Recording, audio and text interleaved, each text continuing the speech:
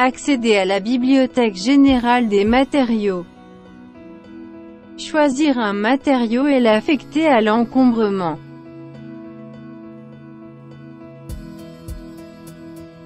Affecter le matériau sélectionné aussi à d'autres objets. Choisir le matériau pour la surface inclinée.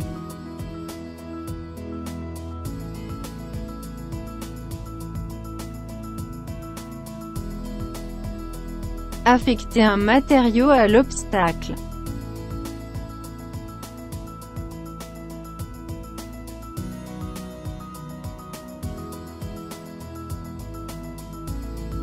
Terminer la saisie des matériaux.